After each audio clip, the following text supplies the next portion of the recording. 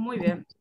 Así que doy, doy oficial y formalmente la bienvenida a Carlos Solaf González Flores, que él es, bueno, eh, es parte del equipo de la PIMS en Su. Les cuento que, que con Carlos Olaf eh, nos conocimos virtualmente cuando yo todavía vivía en México. Yo era pequeña, recién estaba teniendo mis primeros reptiles hace como una década o más y Carlos ya estaba en todo este mundo de, de, los reptiles, ya estaba con, con, con, varios proyectos de educación ambiental, o sea que ya venía bastante adelantado y, es, y tiene una experiencia acumulada que la verdad inspiró a mucha gente, estoy muy segura, Carlos, que tú fuiste la fuente de inspiración a mucha gente que hoy en día está haciendo ese trabajo. Cuando yo vine, vine a Uruguay en 2012, recuerdo que yo le hablaba mucho a Nacho de ti, que Nacho fue el fundador de Alternatus Uruguay, y, bueno, gracias a que yo le hablaba de ti, él empezó a seguir tu trabajo, miraba, bueno, todos estábamos enamorados de Rocco y hasta la fecha.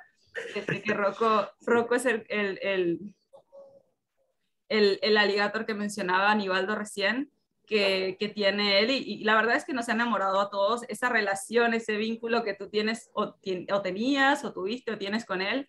Entonces, nada, a partir de Rocco nosotros nos, nos, colgamos a, a, ver tu trabajo y la verdad es que es buenísimo. Nos da mucho gusto que hayas aceptado estar acá. Nos encanta tenerte aquí, que puedas compartir tu experiencia, la historia del trabajo que vienes realizando de educación ambiental con animales vivos, que hoy por hoy se le conoce como animales embajadores. Varios de nosotros que trabajamos con animales y en la educación ambiental estamos, estamos, eh, somos testigos, digamos, de, del trabajo que se logra con, con estas actividades combinadas con la educación ambiental, ¿no? Así que a nosotros nos gusta mucho invitar a otros referentes de otros países que tengan su propia experiencia y que vengan y nos cuenten a nosotros lo que es trabajar de esta manera, cuáles son sus resultados, bueno, todo lo que es el marco legal que acompaña esas actividades y, este, y los resultados, ¿no? Más allá del camino que han tenido que recorrer, el aprendizaje que han tenido en ese proceso y bueno, y, y, qué es lo que se viene para Natura, ¿no? Así que dejo de hablar y, y te paso la palabra, Carlos, bienvenido. Muchas gracias por estar aquí y bienvenidos a todos los demás. Ok, pues bueno, buenas tardes, saludos desde, desde Monterrey, Nuevo León, México. Mi nombre es Carlos Olaf, este, soy el fundador de Natura Sub, eh, tengo 35 años. Y pues bueno, como ya, ya lo dijo mi amiga Iracema, pues ya tengo un rato haciendo esto. Tengo 10 años en Natura Sub, pero pues tengo mucho más en, en todo este mundo de los, de los animales en general pero una de las especies que más llamaron mi atención pues son, fueron los reptiles, son los reptiles. Creo que son fascinantes. Cualquier tipo de reptil, saurios, tortugas, veneno, eh, colúbridos, lo que sea, son algo sorprendente. Pero bueno, me, me, dediqué un poquito más o me llamó mucho la atención la, la modalidad de educación ambiental. Este, no, yo no fui, yo no fui el que la creó, Aquí en México les platico que había dos empresas, dos empresas muy fuertes. No sé si alguien de aquí las, las llegue a, conocer o, que las haya escuchado. Una de ellas era Somar. Somar estaba a cargo del doctor José Luis Solórzano, que era parte del cuerpo médico de, la ballena orca de, Keiko. Él, era el, el, director general de Somar y estaba otra empresa que se llamaba Vivencia Marina, que yo recuerdo aquí en México, ellos eran los pioneros en la educación ambiental con fauna viva. Ellos, ellos eran itinerantes, viajaban por toda la República con pláticas o espectáculos, como le quieran llamar. Aquí en México está prohibido llamarlo show con animales porque lo relacionan con, con, con actos circenses. Entonces, ellos traen espectáculos con reptiles, con aves rapaces, con citácidos, con, con mamíferos marinos, con delfines y pues claro, con, con eh, Keiko, que era la, la, ballena que no se, ella no se movía, ¿verdad? Sí se quedaba en un, en un parque fijo. Entonces, ellos eran los pioneros. Este, mientras todo esto sucedía, pues yo estaba, yo estaba trabajando en lugares pequeños, ¿verdad? Eh, a mí me llamó mucho la atención los acuarios de agua dulce, de agua salada, mientras que Somar y Vivencia Marina, pues, pues eran unos monstruos, vaya. Entonces, después de trabajar en acuarios pequeñitos, acuarios, acá le dicen de colonias, o sea, lugares donde hay casas, residencias, abren aquí en Monterrey una tienda muy grande, la más grande de Latinoamérica, así se mencionaba, que era la jungla de Timo, o es la jungla de Timo. Este, hubo contrataciones y ahí, ahí es donde entro yo al comienzo de, ese negocio. Duré ahí cuatro años y pues ahí conocí de todo. Primates, felinos, grandes felinos, perdónenme, reptiles de todo tipo, aves, mamíferos, arácnidos, todo. Ahí conocí de todo. Ahí me empiezo a involucrar más con los reptiles, con una persona que se llamaba, o se llama más bien Pavel Real. Pavel Real fue mi mentor. Él es un señor ya grande, es de la vieja escuela, no está estudiado, no, o sea, no tiene una carrera de biólogo, veterinario o algo así. Sin embargo, en aquel entonces, estoy hablando de hace, ¿qué será? Hace unos 13 años, él era de los, de los más informados. Aquí había muy poquita literatura sobre reptiles. Este, él era de los más informados en cuanto a medicina preventiva de reptiles, fases de reptiles, este, reproducción de reptiles, tipos de reptiles, todo, todo. Está muy, muy informado el señor. Me empiezo a, unir a él, empiezo a agarrar muchos conocimientos gracias a él. Este, y después de eso, después de eso viene una empresa, viene la empresa Monterrey, Vivencia Marina, con una exhibición de reptiles venenosos.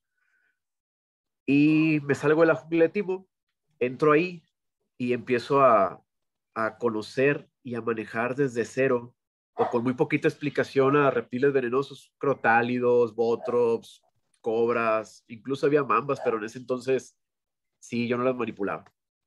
Y pues bueno, lo que les quiero dar a entender es que pues toda la experiencia que traigo, la verdad es que es experiencia empírica. Yo no soy veterinario, me quedé en el cuarto semestre, este, no soy biólogo tampoco. Sin embargo, pues traigo algo de experiencia empírica por los trabajos que he realizado, la gente que he conocido y lo que yo mismo me he animado a hacer. Después de eso me empieza a llamar mucho la atención el comportamiento de los animales. Empiezo a trabajar con citácidos con la empresa Somar, con una variante que se quedó aquí en Monterrey que se llamaba eh, Animal Encounter. Animal Encounter tenía un espectáculo de, de mamíferos y citácidos guacamayas, loros, cacatúas, zorrillos, hurones. Y me pareció sorprendente la inteligencia de las aves. Lo que podrías lograr con un buen manejo, lo que ahora conocemos como manejo operante con refuerzo positivo. Bueno, lo que se podía lograr con eso, yo no me sabía, yo no me sabía ese, ese título, ese nombre. Y pues me empecé a empapar de esa información también. Ahí fue cuando yo conocí la educación ambiental con fauna viva porque el fuerte de esa empresa era, era visitar escuelas. Entonces, vi que era como si fuera una obra de teatro, pero educativa y con animales. Y la gente se quedaba maravillada, o sea, tenía un comienzo, un desenlace, algo triste, algo divertido y al final un mensaje muy bueno. O sea, lo tenía todo, lo tenía todo y era con animales, entonces yo estaba fascinado me gustan mucho los niños aparte, me gusta cómo son, de ocurrentes y todo. Y pues ahí conocí la educación ambiental y me enamoré. Eh, después de eso les voy a presentar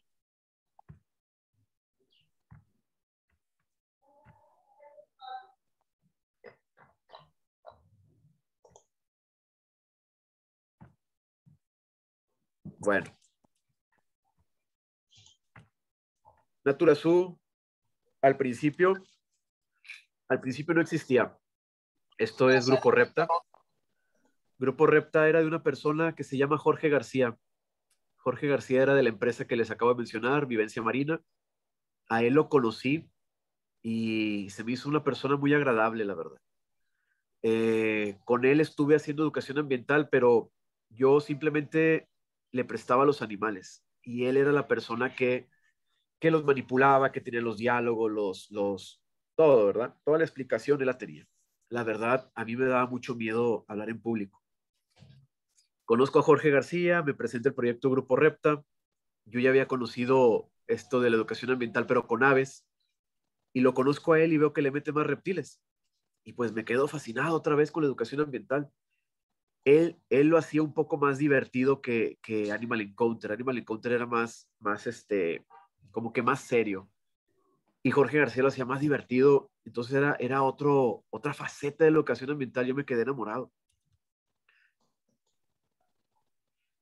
Jorge García es la persona del medio y yo soy el del que está acá con gorra hace algunos, hace algunos muchos años.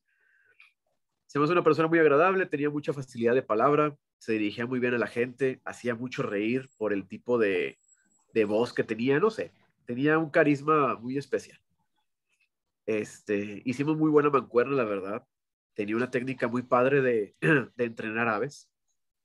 Eh, conocí gente en empresas también que, que sí usaban algo de, eh, algo más forzado, algo más rudo con las aves.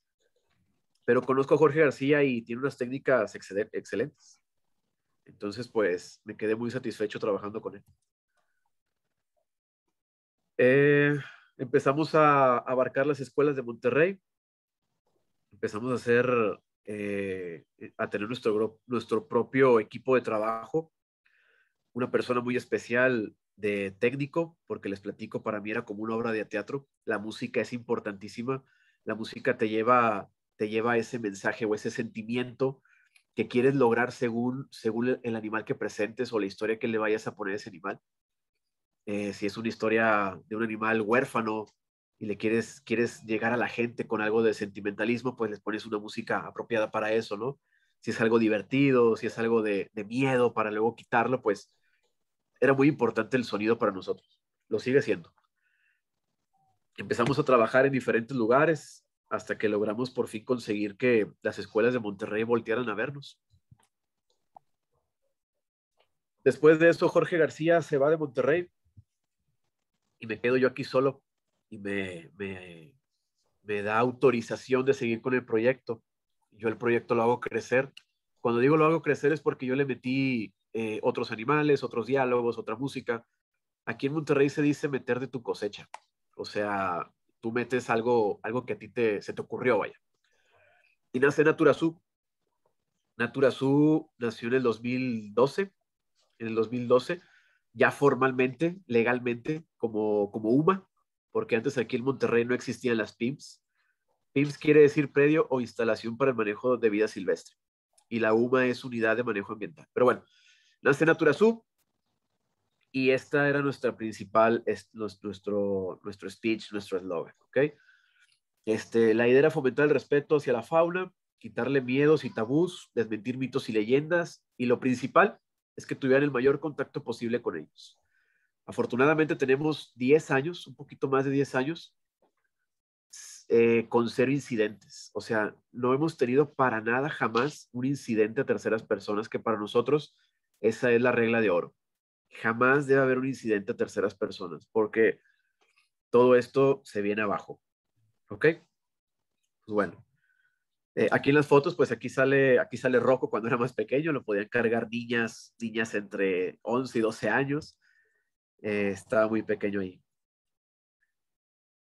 Y bueno, este, nos hicimos muy fuertes en una temporada que, era muy difícil aquí en México. Aquí en México en el 2010, 2011 y 2012 fueron años muy difíciles ya que se vino la inseguridad. Eh, había inseguridad muy, muy pesada, muy fuerte en todas partes. Había cárteles, había grupos rivales, todos querían todo. Entonces, eh, fueron momentos muy difíciles como para iniciar un proyecto. Yo empecé a tocar puertas en las escuelas. Perdón, traigo un poquito de gripa empecé a tocar puertas en las escuelas, tratando de que me escucharan mi proyecto, este, pero por ser hombre y por ir yo solo y en esa época, pues no me abrían las puertas.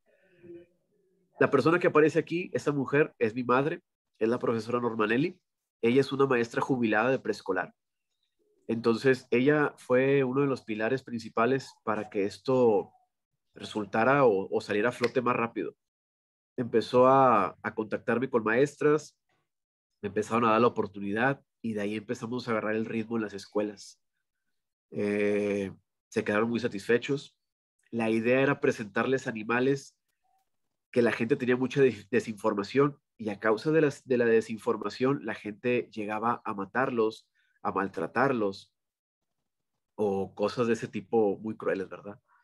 Y pues nuestros principales animales eran tarántulas, el tlacuache, la zarigüeya, serpientes con mitos y leyendas, búhos, lechuzas, esos eran nuestros principales este, animales.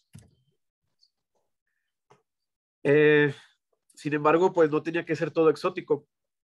A los niños les presentábamos de todo un poco y me di cuenta de que no importa qué animal presentes, así puede ser una cucaracha de Madagascar. Aquí lo que importa mucho es el diálogo que le metas, la musicalización que le metas o la historia que le quieras eh, eh, proponer al niño. Es algo que nunca se le va a olvidar.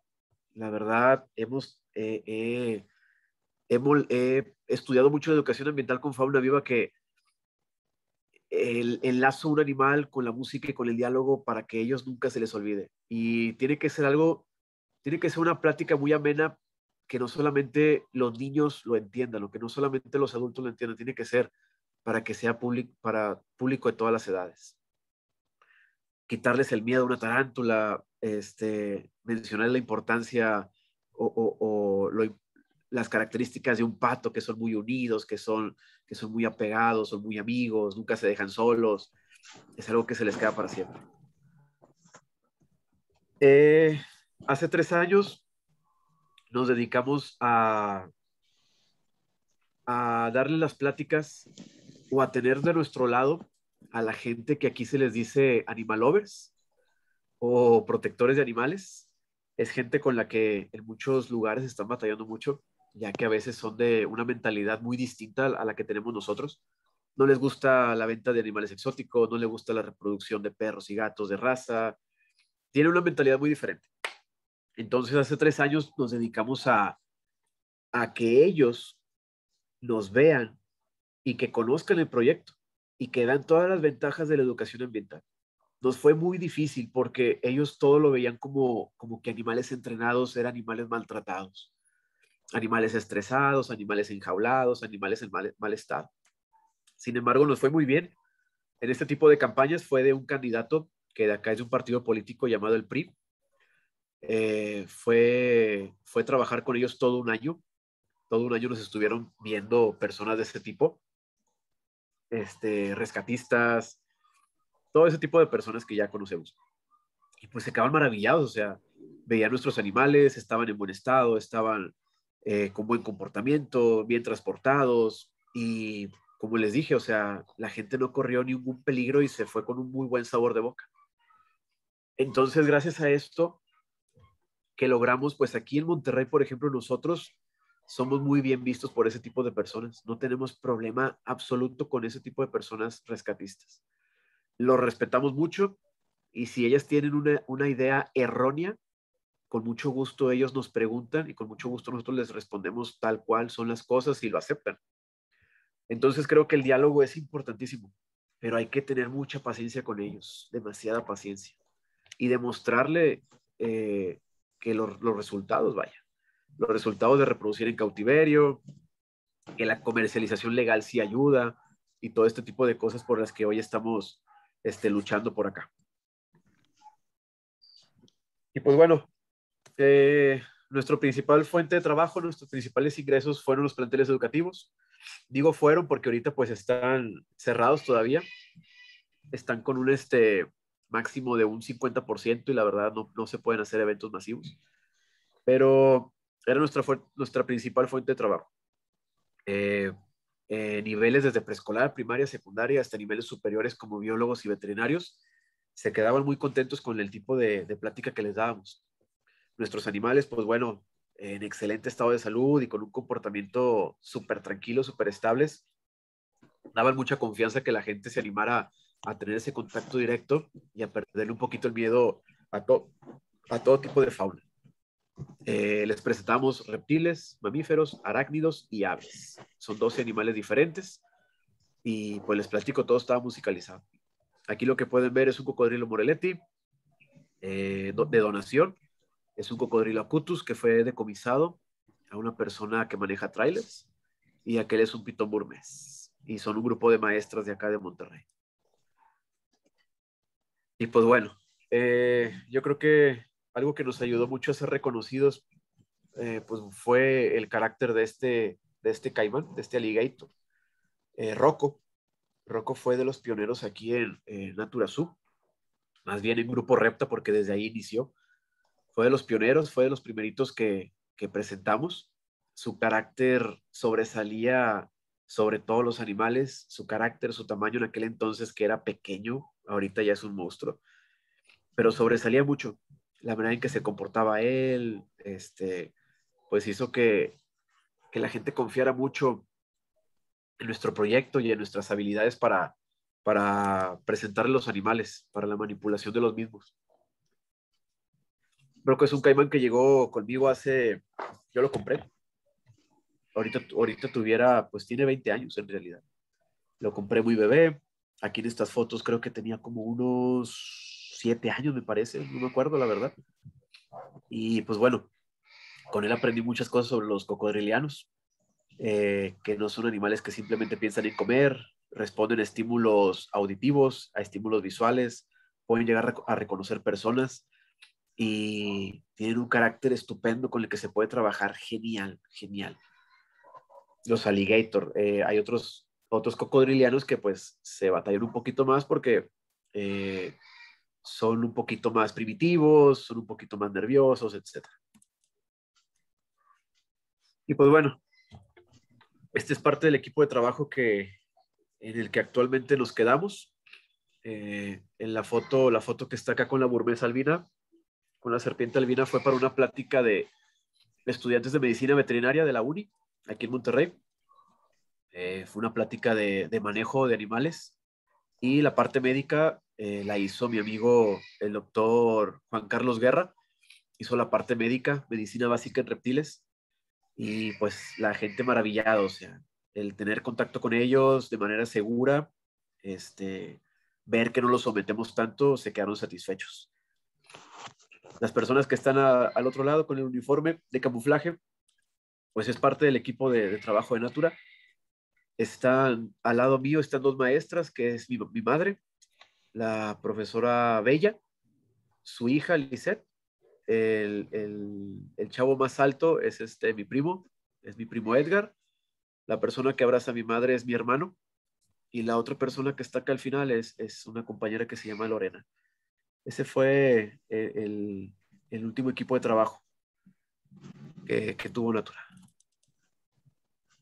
Eh, otra de nuestras fuentes de ingresos, pues bueno, es la reproducción.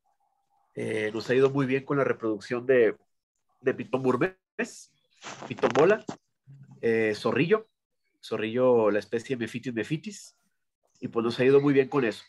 Este, cada año tratamos de reproducir alguna de estas especies y pues bueno, salen de manera legal, todas están con aprovechamiento y pues bueno, es otra fuente de ingreso. Eh, damos animales muy sanos, están ahí monitoreados siempre, siempre les presentamos cuándo están comiendo, cuánto pesan, cuando ya están listos para entregarse después de la segunda muda. Y pues es una, una muy buena fuente de ingresos para que, para que siga creciendo las instalaciones, las especímenes o ese tipo de cosas que, hagan falta en unas instalaciones, ¿verdad? Eh, pues bueno, les voy a presumir que Natura Su acá en Monterrey fue la primera empresa de educación ambiental en tocar, en tocar un zoológico, nuestro zoológico, se llama Zoológico La Pastora. Fue la primera en que le dieran luz verde para poder hacer educación ambiental en las instalaciones de ellos, con nuestros animales.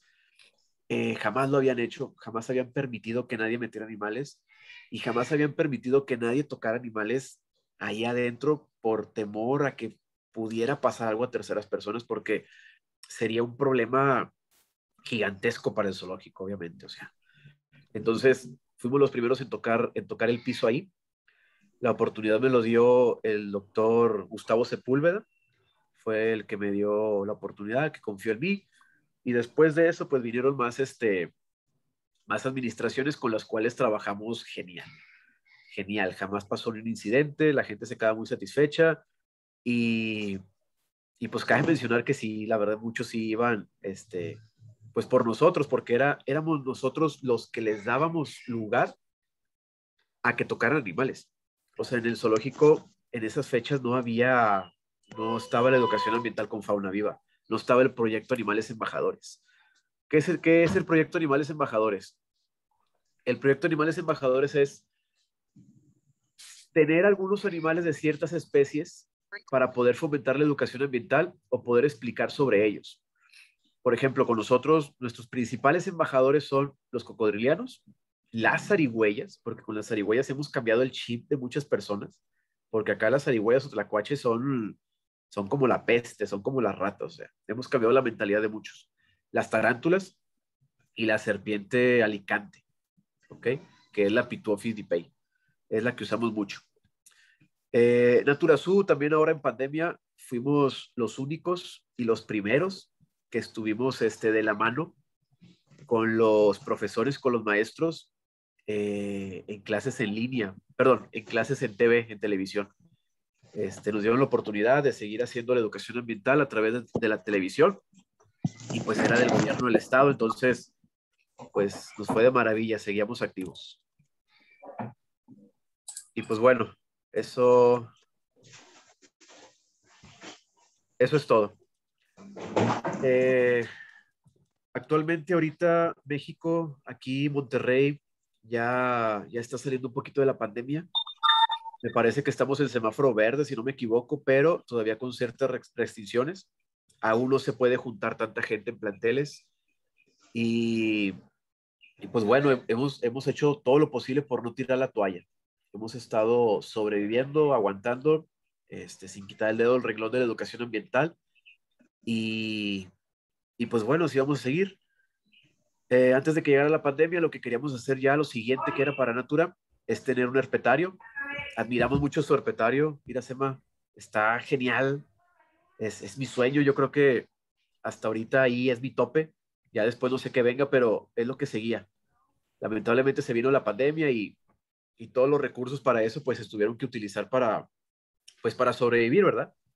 Pero bueno, eh, no importa, estamos contentos, seguimos con la educación ambiental este, y esperemos que el otro año los planteles ya nos permitan trabajar y, y, pues bueno, seguir echándole ganas. Ahorita por lo pronto estamos en una, en una UMA, Unidad de Manejo Ambiental, que es un recorrido safari y nosotros somos este, el espectáculo de educación ambiental eh, ahí principal, vaya, somos los únicos, vaya.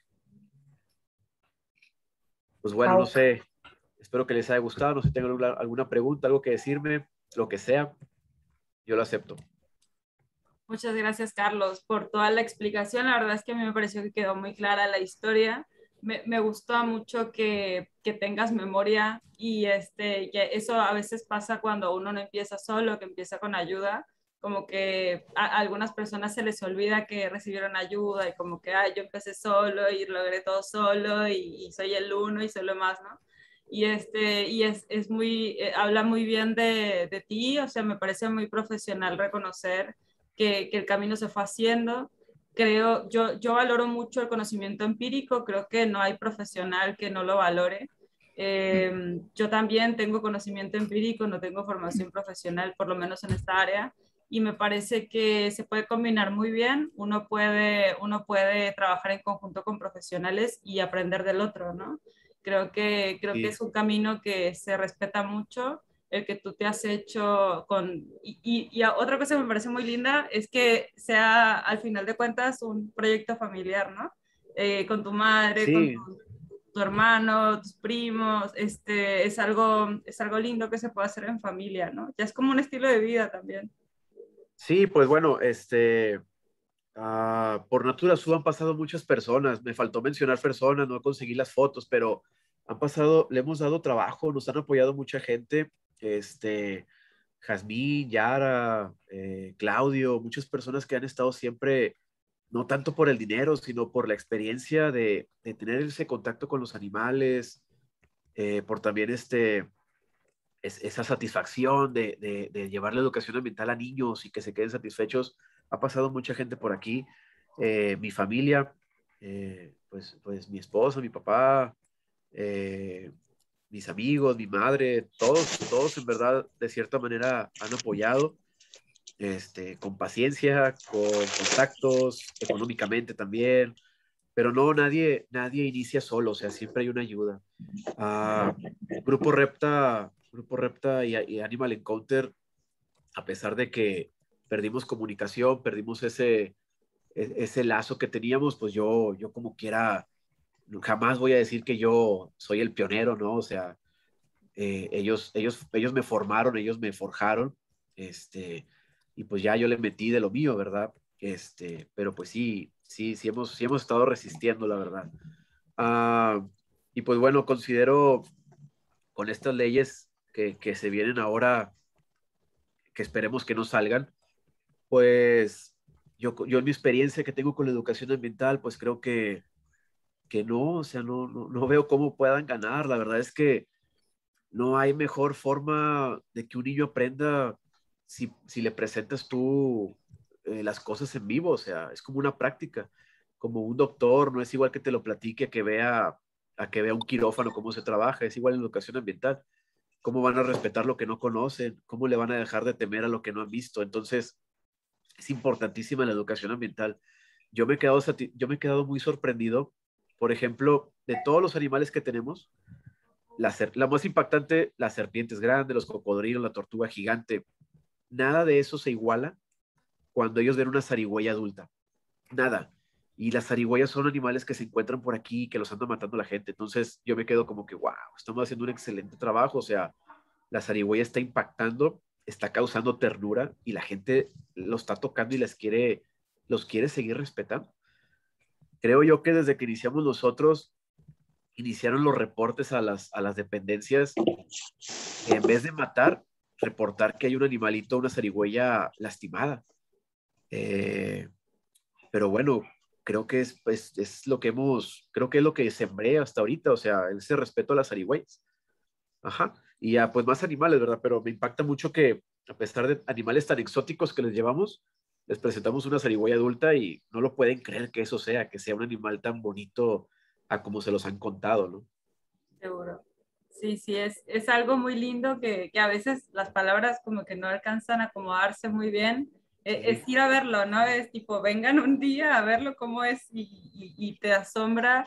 Eh, yo incluso que, que hace tiempo que te tengo en las redes sociales, veo que compartes cosas. Cada tanto haces transmisiones en vivo donde cuentas cuando estás atendiendo un animal o cuando estás limpiando, cuando estás alimentando. Entonces, cada explicación que das, cada cosa que se ve que haces, a veces uno no se da cuenta cuando trabajas con animales que las cosas más simples como hacer un cambio de agua, ya estás enseñando algo. Entonces, digo, todo lo que uno hace realmente es conocimiento generado a través del contacto con los animales y tú no dejas de aprender nunca de ellos y al mismo tiempo no dejas de aprender de los grupos porque tú vas en, en, en una posición de enseñar, pero tú siempre te llevas algo, ¿no es cierto? Es, es algo, e, es, digamos, si queremos decirlo, es un oficio muy bonito.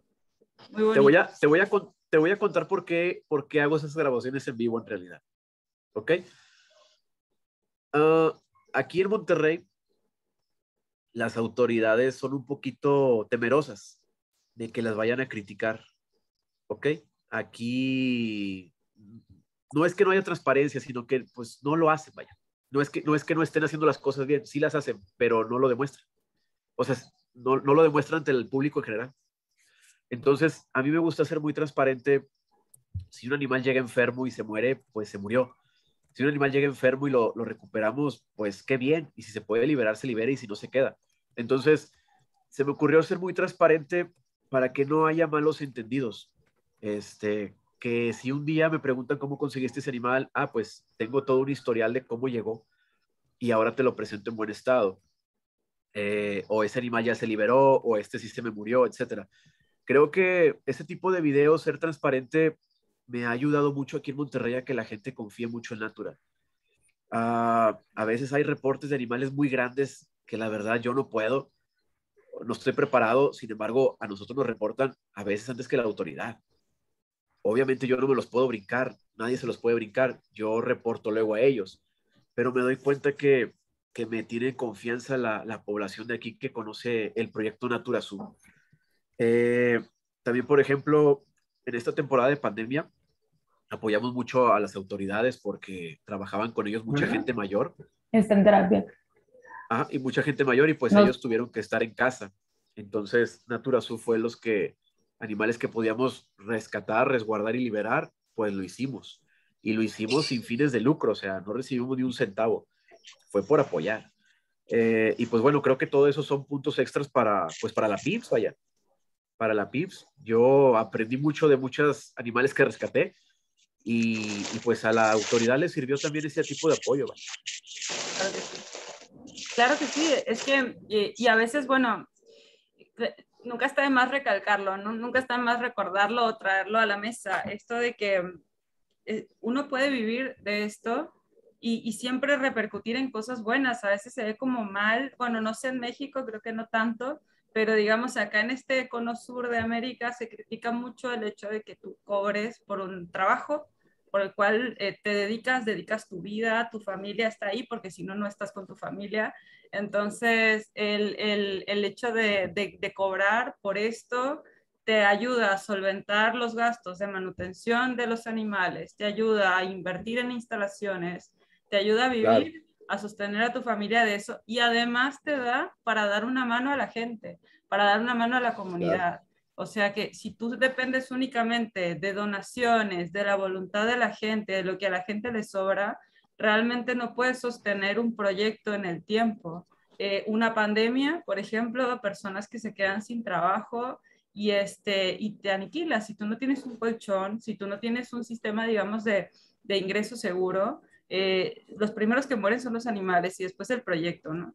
Entonces es. algo que, hay que poner en la balanza. Eh, si está, no está mal cobrar siempre y cuando tú demuestres que tu trabajo es bueno, te repercute positivamente y que además te da para dar una mano más allá de tu trabajo, ¿no? Creo que es algo, es algo muy bonito de compartir. Y te quiero hacer una pregunta. ¿Hay, comentarios? Juan dice, excelente la ponencia, gracias por tu humildad. Creo que Juan ah, eh, es de la triple frontera, es de Argentina. No sé si es, Saludos. No sé si eres el Juan de Misiones.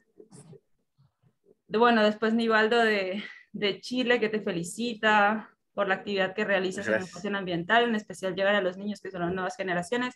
Liliana Tobar pide tus redes sociales, Carlos, si quieres pasarlas acá para que la gente te siga, siga el proyecto de Natura. Sí, el mío personal es Carlos Olaf, con doble F.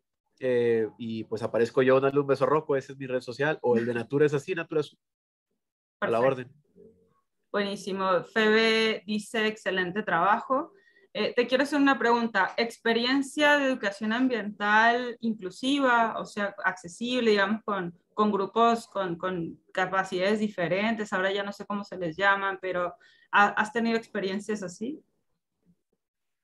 Eh, sí, Sí, ¿te refieres a poca audiencia? Eh, no, por ejemplo, personas que no ven, personas que tengan algún problema ah, de eh, discapacidad sí, intelectual. Sí, hemos, trabajado, ajá, hemos trabajado con, con, institutos que tienen este, niñitos con Down o también que tienen este que no ven, que son que no tienen problemas auditivos. Hemos trabajado con ellos, nos ha salido genial, la verdad al principio nos ponemos muy nerviosos este, todo mi personal les encanta a los niños y tienen una paciencia tremenda. O sea, eh, al principio si nos ponemos nerviosos, nos da, nos da un poquito de miedo. Este, pues sí, que, que quieras que no que llegue a pasar algo, pero la verdad es que mi personal se ha portado súper profesional y mis animales, híjole, yo estoy admirado con ellos.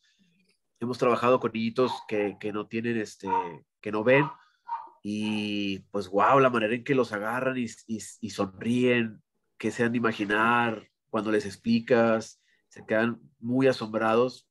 Si una persona que ve una serpiente se queda asombrado, pues imagínate un niñito así que no tiene esa capacidad, pero con su tacto está sintiéndolo o así se así pueden ver ellos. Es algo increíble. Este, los niñitos con, con síndrome Down son niños bien bien nobles, bien cariñosos, bien inteligentes también, muy cuidadosos. Hemos estado también con personas de la tercera edad. Eh, tenían muchas dudas por creencias que ellos tenían desde hace mucho tiempo, de sus, todavía de sus abuelos, y pues se quedan sorprendidos, impactados de que eso era un mito, una leyenda. Y, y pues no, o sea, la verdad, con todo el público que hemos tenido, hemos tenido muy bonitas experiencias, desde preescolar, niños de maternal, personas de la tercera edad, eh, hemos estado en, en, reclusorios también. Entonces, no, la gente se queda, creo que hemos sabido eh, eh, explicarle o tener las palabras adecuadas para público en general, o sea, no hemos batallado para nada. Es que tener animales facilita el trabajo, ¿no es cierto? Como que ellos hacen la gran parte del trabajo y uno encamina, ¿no? Creo que es la diferencia, a veces hablan de los hologramas, de las pantallas, la virtualidad y creo que la parte del contacto directo con los animales es algo que, que no van a sustituir así nada más, porque si hablamos de, personas que no ven, eh, pueden tocar pero también oler, ¿no es cierto? Y, eso también tiene, tiene mucho que ver, digo, son otros sentidos, otra forma de utilizarlos. Y, este, y el olor a los animales también se queda grabado en la memoria y también tiene recuerdos lindos. Un olor, una, una, linda experiencia, ya tienes algo positivo, ¿no? Así es. Sí, sus otros sentidos este, les mandan mensajes diferentes y pues se quedan con eso. Claro, acá mira, Andrea pregunta, ¿cuál ha sido la mayor dificultad que has tenido durante tu trabajo? La mayor dificultad, bueno, fuera de lo del COVID, que nadie se lo esperaba que durara tanto, nadie se lo esperaba que llegara. La mayor dificultad, bueno, ya lo mencioné, lo de la, la, inseguridad que vivimos aquí hace tiempo, cuando inició Natura. Este, las cosas legales, fíjate que no. O sea, eh, han sido trámites que se encarga la persona técnica, que ha sido una muy buena persona, es muy, es muy capaz, es muy listo, Ever, Ever Nieto el doctor Eber Nieto, este, pues creo que ha sido eso, la, inseguridad este, y la, pues la pandemia. La pandemia, ¿no? La verdad, como ya, como ya les platicaba, como ya tenía esas escuelas, esas escuelitas de SOMAR, de vivencia marina, de Animal Encounter, de Grupo Repta, pues creo que agarré lo mejor de los cuatro, más lo que yo le puse de mi cosecha, y pues se fue bien encaminado, o sea, y con los contactos de mi madre por ser maestra, pues las puertas se nos abrieron y, y de ahí para adelante ya, ya jamás lo soltamos. Hasta ahorita que se vino pandemia, pero fuera de eso no, fue simple. Qué bueno, Carlos. Bueno, no sé si alguien más quiere hacer alguna consulta. A mí sí me ocurren mil cosas, pero bueno, quiero darle espacio a alguien más si quiera preguntar algo. Pueden activar el micrófono también si quieren. Sí, a la orden. Mientras tanto, eh, Carlos, te pregunto, ¿voluntarios reciben? Sí, sí recibimos voluntarios. De hecho, este, uno de los, ahorita tenemos voluntarios de veterinaria, este, biólogos también. Les interesa mucho el manejo. Yo, yo les enseño sobre manejo. Nada, nada médico. No, no me atrevería a meterle, este, nada médico si yo no lo soy, para eso están la gente preparada, pero todo lo que es manejo, tratar de, manipularlos con el, mejores, con el menor estrés posible y lograr resultados, eso es lo que le interesa a los voluntarios que vienen para acá. Y sí, sí aceptamos, con mucho gusto. Perfecto. Bueno, acá tenemos un público muy tímido hoy. No, no, hay, no hay más preguntas. Hay felicitaciones, obviamente. Gracias. A ver, Federico, ¿qué, Me gustaría, es muy, es muy difícil para mí hacer una pregunta porque no tengo conocimiento ni académico ni empírico. Eh, mi problema es que estoy en un, vivo en Brasil hace mucho tiempo y siempre viviendo en lugares bien remotos de Brasil islas. Ahora estoy en una parte que es eh, el lenzol marañense, que es este, un pequeño desierto. Y la costumbre aquí es eh, mucho matar eh, cobras y tal, víboras en general, reptiles, comer iguana. Y hay en, este lugar donde yo vivo, es una villa que está ocupada hace poco tiempo, vamos a suponer, hay dos generaciones de nativos. Eh, que es muy difícil el tema de la conservación, ¿no? La costumbre es matar. Y hay un instituto que está abandonado, que es el Instituto Amares, eh, que él está abandonado, tiene las piscinas para las tortugas, tuvieron tortugas gigantes en algún momento. Eh, y yo estoy intentando, eh, tipo, con mi, poco conocimiento y gracias a, los, a lo que fui aprendiendo con Alternatus en los videos, comencé a pegar víboras y, llevar a lugares más afastados de la ciudad, ¿no? más lejos de la ciudad. Y, me interesé por intentar eh, abrir ese lugar e intentar de convencer a, las personas que lo estaban apoyando de seguir adelante con ese lugar. Bueno, y, quería agradecer porque está siendo muy productiva la, la charla. Y, es, es, un problema muy difícil eh, el, el, tema de tipo salir de mañana y encontrar, no sé cómo es, pero aquí lo llaman de, de Shiboya, que es tipo una, eh, una pitón. Eh, Creo que son las boas. sí, ah, tal vez más pequeñilla. colgada en una cerca, en un alambre, con la cabeza reventada por un facón. Entonces, tipo, es mucha cantidad. Yo saco todas las semanas dos o tres eh, coral, falsa coral, eh, eh, yararaca, que son las víboras que no conozco los nombres, pero son las, que comúnmente se llaman aquí esas víboras, ¿no? esas serpientes.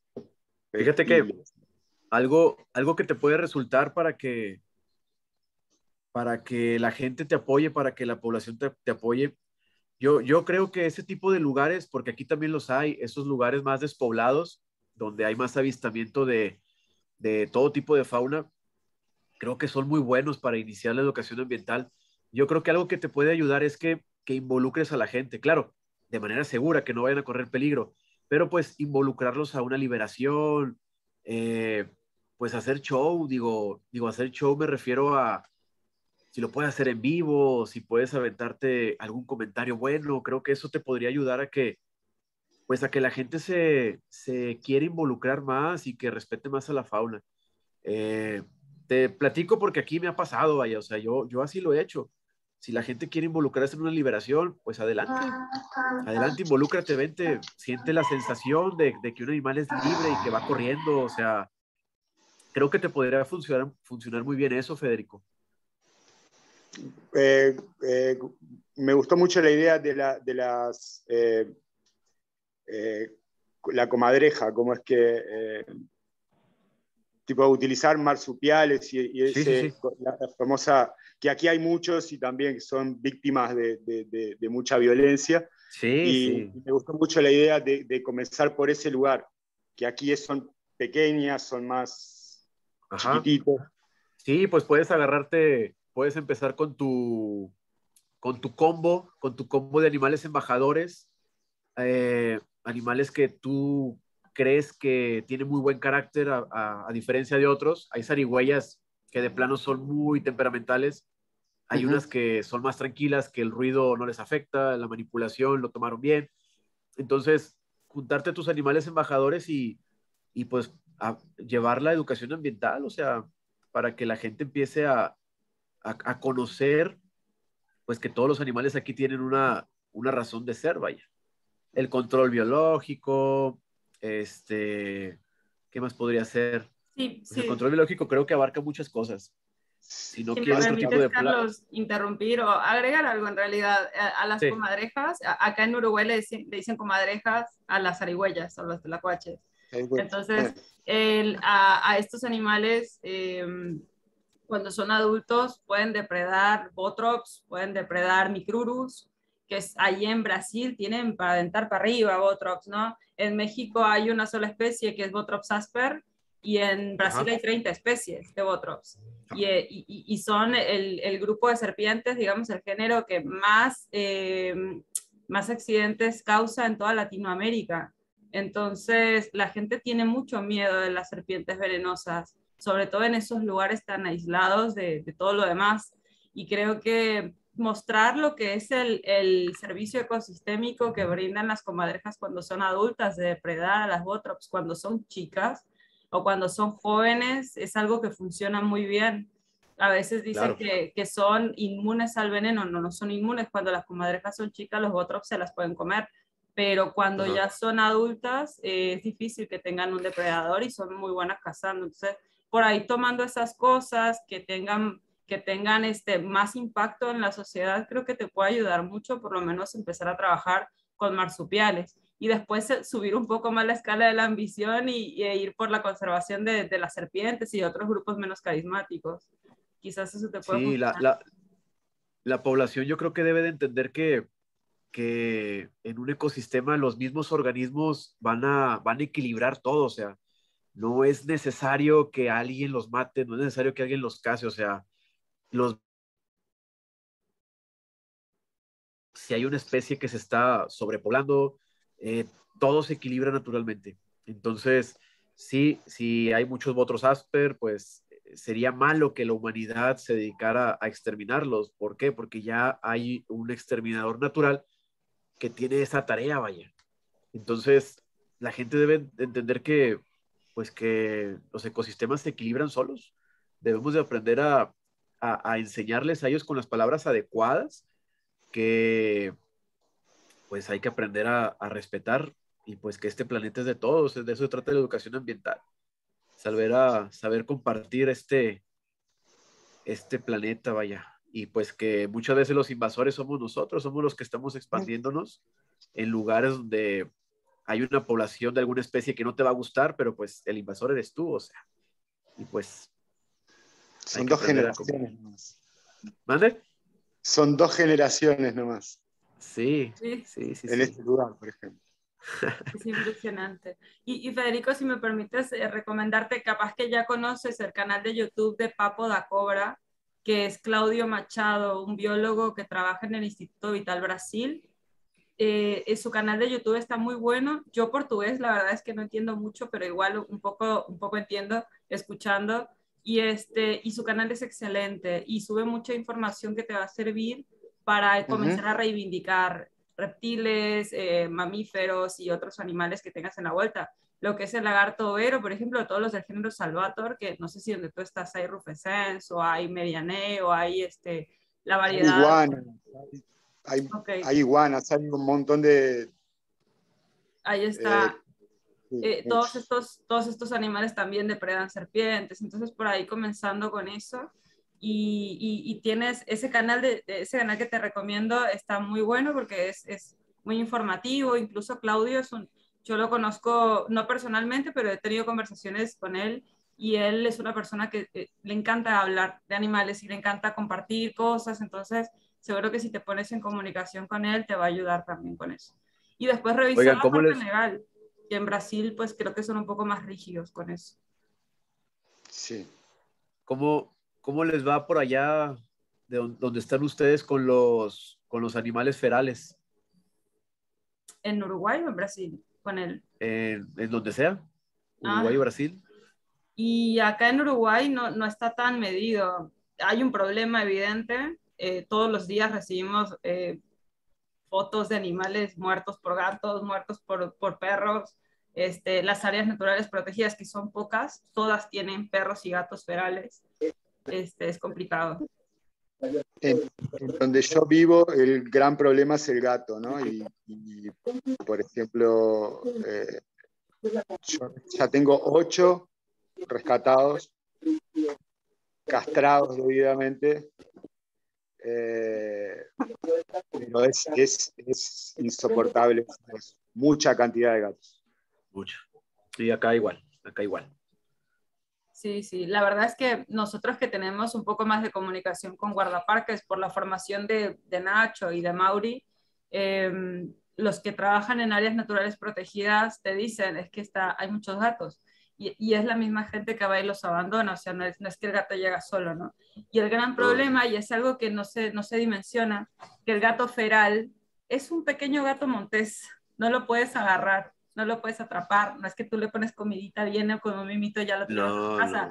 Es una bestia, es una fiera. Ya es un salvaje, sí, ya es un se, salvaje. Se, se, asilvestra en, en, en, menos de una generación. Entonces, es, es, un gran problema el tema de los animales ferales.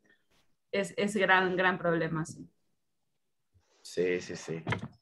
Acá tenemos el mismo problema. Este, pues lo difícil es que la gente vea que son un problema eh, porque creen que están en su hábitat. O sea, como se ven tiernos, como es algo muy común, un gato doméstico, bueno, que ya no es doméstico, que es feral, pero lo siguen viendo como doméstico, la gente piensa que, que pues ahí está bien, o sea, se está alimentando el gatito y no le pasa nada, pues sí, pero se está llevando de encuentro a, a muchas especies que luego para recuperarlas va a ser un lío, en verdad. Claro. Y, y, y, lo peor es que van a las áreas naturales, ¿verdad? O sea, que no sí. quedan en la ciudad donde, bueno, comen basura, no. sino que van a, ahí donde, en los pequeños parches que quedan para sí. la fauna silvestre, porque tampoco es que haya un paraíso idílico donde liberar animales.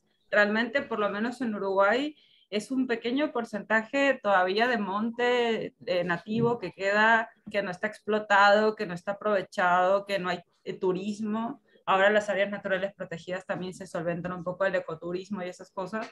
Entonces, la, la, el gran problema es ese, ¿no? Que, que, se llena de gente, se llena de turistas, se llena de cosas y con la gente vienen las mascotas y otros problemas. Eh, a, acá te leo, Carlos, unos comentarios. Pedro sí. dice, genial exposición. ¿Cuánto tiempo toma tener un animal apto para exhibición? Gracias de antemano. ¿Cuánto tiempo? Pues, pues depende de la especie. Este, en citácidos, en citácidos, si no tiene nada de manejo, pues a lo mejor unos cinco o seis meses. En cocodrilianos, si es bebé, pues se acostumbra muy rápido hay varios, hay varios este, puntos de vista que debes de tomar si, si el animal es apto. Por ejemplo, empezarlo a sacar y, y ver si el animal sigue con su alimentación cotidiana, o sea, que no se estresó mucho y la alimentación sigue, que tiene apetito, si muda de piel bien, si no empieza con el picaje en las plumas, uh, si no empieza a regurgitar, si está mudando bien de piel, si no está defecando eh, mucha diarrea. Si el animal continúa con su vida normal, pues para nosotros es un animal apto para la educación ambiental. Por ejemplo, nuestra guacamaya va a educación ambiental, regresa y su plumaje está excelente, come muy bien, defeca bien. Los cocodrilianos regresan, le das de comer y tranquilamente comen. Nuestras serpientes igual, o sea, se alimentan bien. Eh, ya cuando vemos que un animal se estresó, ya no quiere comer, ya empezó con el picaje, su pluma se maltrató, eh, pues bueno, ya, ya consideramos que es un animal que, que, ese tipo de estrés no, no le está sentando bien. Y pues ahí, ahí ya se queda, eh, ya no es para educación ambiental, ya no es un buen embajador. Pero, este, pues no, todo es cuestión de, del manejo, vaya. Si quieres empezar con educación ambiental, eh, dedicarle unas cuantas horas, traerlo contigo en transportadora, que se acostumbre al ruido, desensibilizar, que es empezarlo a tocar poco a poco, eh, que no tenga ese temor, que vea que no va a pasar nada, premiarlo, premiarlo porque esté en la transportadora, premiarlo porque salió, premiarlo porque se dejó agarrar. Todo eso sirve para que aceleres el proceso. Perfecto, Carlos. Y a ver, por acá, Liliana Tobar pregunta si van a estar presentes en la marcha del 11 de noviembre. Sí, sí, acá en Monterrey sí, sí vamos a estar presentes ahí vamos a estar. Y pretendemos salir en televisión la otra semana platicando un poquito y a ver quién quiere cubrir la nota de las televisoras. Eso estaría muy bueno. Para dar un poco de sí. contexto, porque hay gente de varios países acá que quizás no, no sabe de qué se trata la marcha. Eh, es por la, por la iniciativa de ley que propuso una, una organización eh, pura y exclusivamente Animal Over, como lo mencionaba Carlos.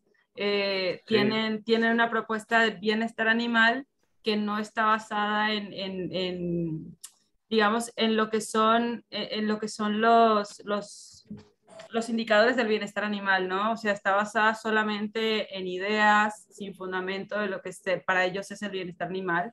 Y, este, y pues toda la comunidad científica, los veterinarios, los manejadores de fauna silvestre, los productores, en fin, un montón de gente saltó porque dijeron, bueno, nosotros somos los que conocemos a los animales, nosotros somos los que los estudiamos, los que trabajamos con ellos, y a nosotros nadie nos consultó, eh, facultades, llámese cualquier universidad, y, sus estudiantes, sus egresados, pues nadie fueron consultados para, para formar esa, esa ley de bienestar animal dichosa, ¿no? Entonces, pues ya están advirtiendo muchos influencers, incluso que divulgadores de la ciencia, que esa, esa iniciativa de ley es un desastre, que no está bien fundamentada.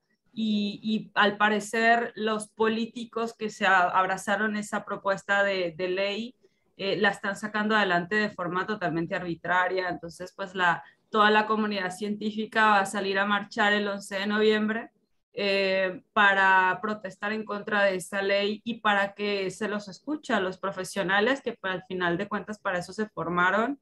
Este, creo que hay algo que no se toma en cuenta y es que la producción, eh, los productores de los animales son los que pueden conocer si un animal eh, está bien manejado o no, tiene bienestar o no, junto con sus veterinarios, junto con los investigadores. Entonces, creo que el bienestar animal viene un poco de la mano de eso, ¿no? De, del mantenimiento de animales, del manejo de animales, y no de lo que yo desde afuera creo que es, bueno para el animal, ¿no? A veces nos basamos en nuestros, nuestras necesidades y se las queremos imponer a los animales, y eso a los animales les termina haciendo daño, ¿no?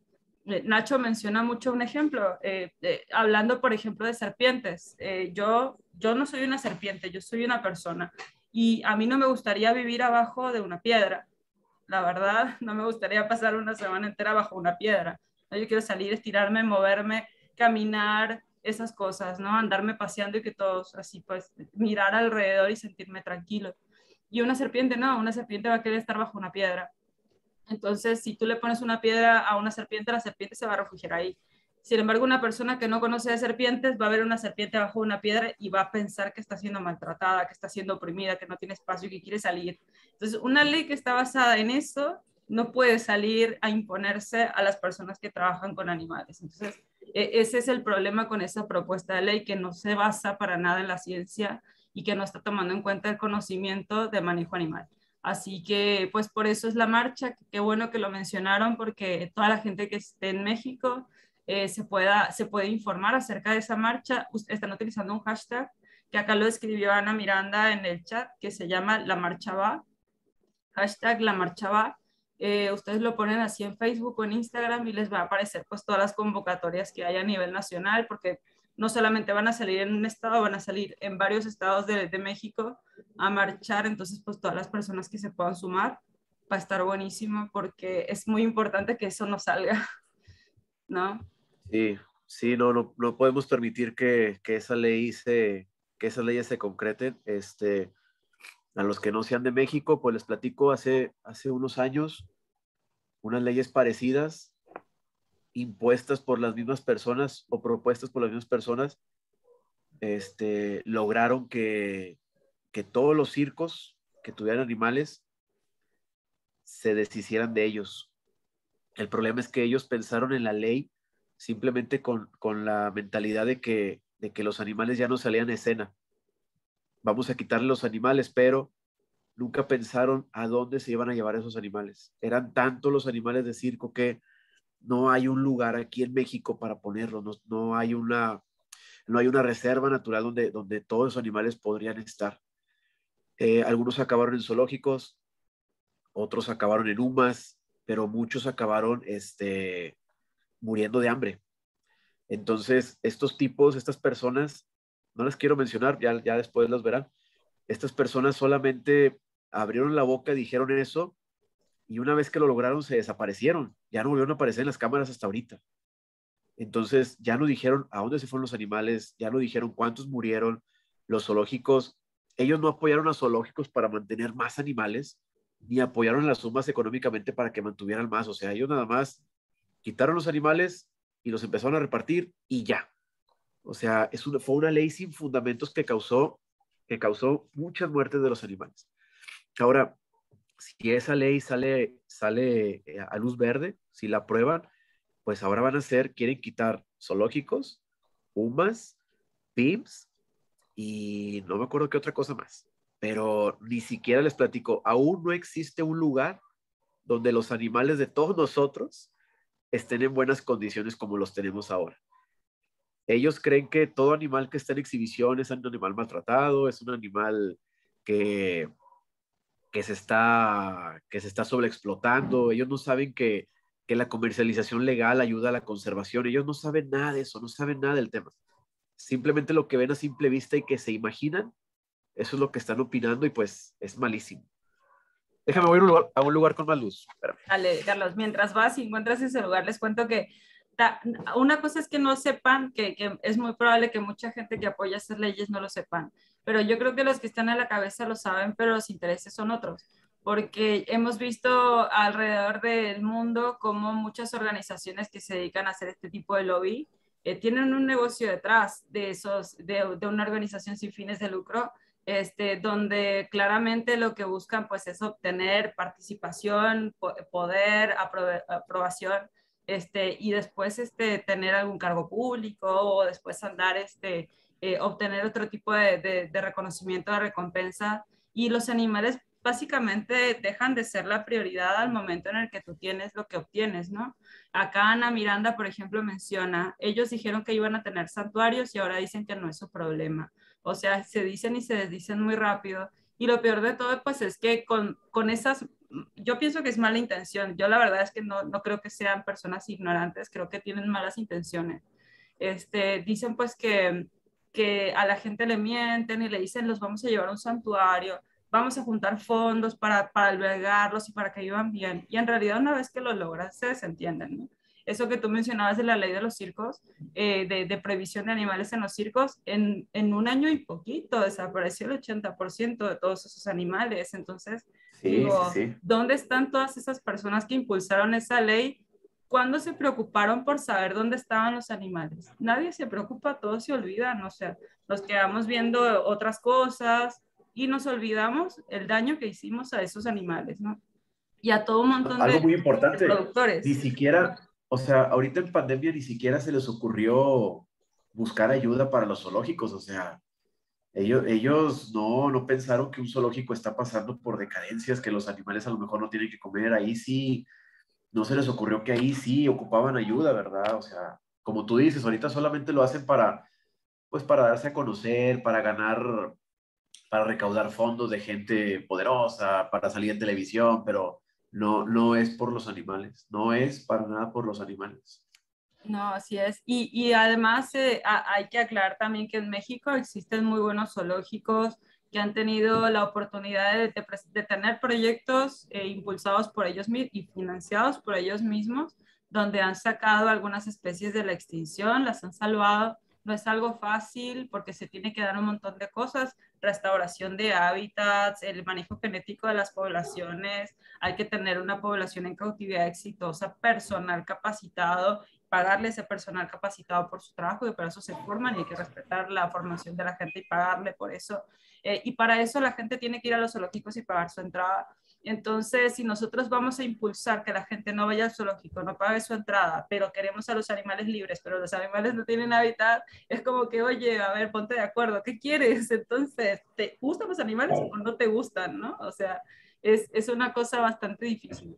Creo que todos los que trabajamos con animales, aunque no nos llamemos zoológico, digo, tenemos una colección zoológica trabajamos la exhibición, trabajamos la educación ambiental, algunos trabajamos la reproducción, como en el caso de Carlos y nosotros, este, y, y, creo que este tipo de leyes también nos afectan, aunque somos pequeños productores, aunque somos pequeñas instituciones, o sea, si esto se termina, es, este impacto que uno logra en la sociedad, en los animales, en el cuidado y en el respeto, se termina. Y las organizaciones que están logrando que esto se termine, no lo están haciendo. Entonces, ¿quién va a hacer ese trabajo? ¿no? O sea, es como dar muchos pasos para atrás y, es lo que a mí me preocupa también, o sea, que hay mucha gente que está encontrando un medio de vida en esto y que está teniendo buenos resultados. Hay que cuidarlo, ¿no? Hay que ayudarlo, hay que potenciarlo, no, no atacarlo este, por no querer informarse. Acá Marla dice, les agradeceríamos mucho su influencia en redes sociales para mantener informados a muchas personas de sus países para que también puedan entender lo que en realidad está pasando en México y se haga ruido para que también en un futuro no suceda algo parecido en sus países. Eh, sí, tal cual. Acá teníamos en, en, el chat a, varias personas que tienen páginas, que tienen eh, Instagram, Facebook. Por ejemplo, Liliana Tobar es la admin de BioLovers, ahí para que, para que apoyen también siguiendo sus redes. Hay, hay, varias personas, hay personas que tienen grupos en Facebook, que también tienen bastantes, bastantes miembros. Creo que todos podemos hacer un aporte, sepamos poco o mucho, podemos acercarnos entre todos, interiorizarnos en la problemática y tratar de darle visibilidad yo siempre digo, en México hay un montón de profesionales en esto, hay muchos veterinarios, hay muchos biólogos trabajando con, con, con la producción de animales, hay muchos eh, educadores que han aprendido empíricamente, como es el caso de Carlos, y yo creo que el mío también, el de nosotros en particular, no, no tenemos una licenciatura en veterinaria, en biología, y, este, y estamos haciendo un trabajo que repercute de buena manera y, logramos impactar en la gente y creo que hay que utilizarlo para el bien, ¿verdad? Eh, para informar estas cosas. Está acá Fundación Refugio Salvaje en Argentina, que también tienen sus cantidades de seguidores, que tienen este, mucho impacto eh, eh, y pues también se puede apoyar en, en cada uno en su país a, a, informar a la gente, porque nadie está exento, ¿no? Digo, hoy es en México, mañana es en Uruguay, después en... nunca se sabe. En España están igual. Híjole. Bueno, acá Daniel Moreno dice el sábado estaré charlando con unos colegas sobre los zoológicos por si gustan entrar. Acá en el chat dejó, dejó un link. Así los invito a todos a que vayan para ahí a ver de qué se trata. Apoyar ahí a Daniel. Y, por mi parte, Carlos, yo podría seguirle dando vueltas al tema. Eh, la verdad es que me gustó mucho la, la instancia de hoy. Aprovechamos ya para hablar todo un poco. Eh, te agradezco un montón. No sé si alguien tenga alguna consulta en particular sobre tu exposición, sobre tu trabajo, que quieran activar su micrófono o escribir en el chat.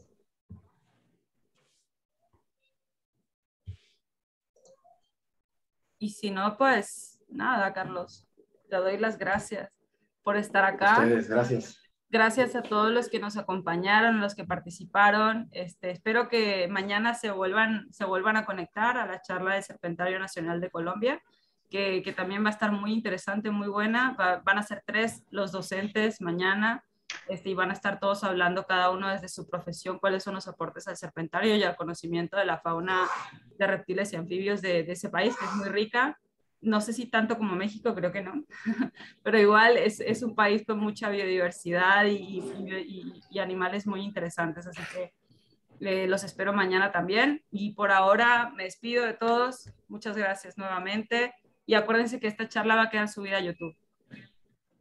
Chao. Gracias. Saludos. Bye.